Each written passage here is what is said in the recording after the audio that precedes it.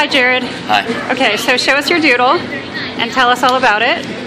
This is a bucket with a head because my brothers call me Buckethead. So we're doodling nicknames, right? Yes. Okay, and what was this like for you to be accosted by a stranger with crayons today? Uh, it was uh, it was okay. Didn't bother me a bit. And how do you feel now? Uh, I feel good.